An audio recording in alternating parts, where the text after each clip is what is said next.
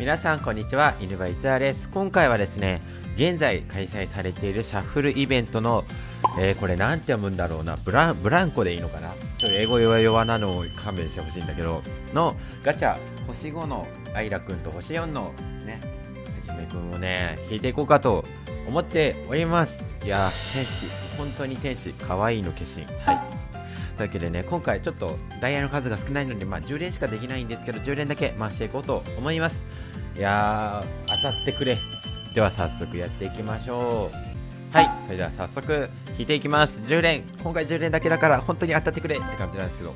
さあ、どうなる？どうなる？ロード。おい、レディ、レディ。お、ど、ど、どうだ？どうだ？どうだ？うん、うん、キロ、キロだ。うん、最低保証とかかな。ちょっと怖いな。はい。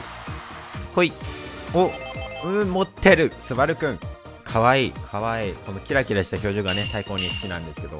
はい。2枚目星さんですね。うん。リツくん。おリツくん2枚目。おかわい。うん。辰巳さん。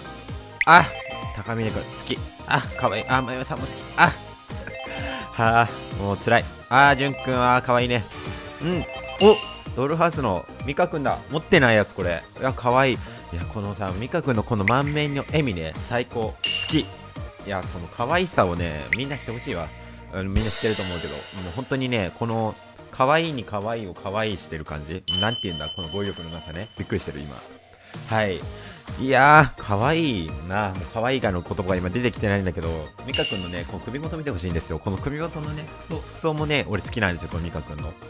このタートルネックっていうんだっけこの首のとこが隠れてるこういう服をねミカくん着てるの最高に可愛いなっていう。